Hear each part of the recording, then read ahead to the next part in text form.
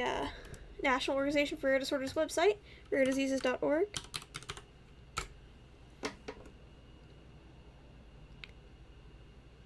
And take a look at their Rare Cancer Day page.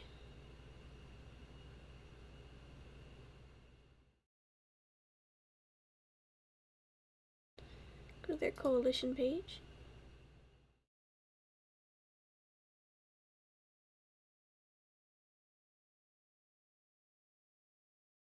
So I am push. I am kind of encouraging everybody to kind of, um, if you have the funds to do so, to donate to the National Organization for Rare Disorders for Rare Cancer Day because they're the ones that are kind of organizing this um, day as an event for everybody to kind of come together and advocate for awareness for these rare cancers.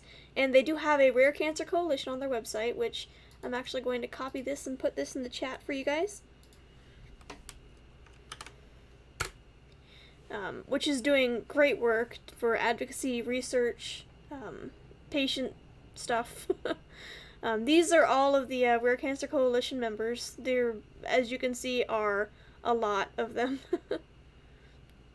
which is fantastic. I wish these were links I could click on. That's okay. Um,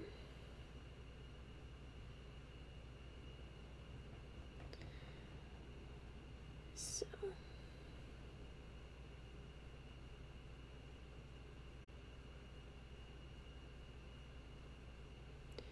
let's go back to the hashtag here.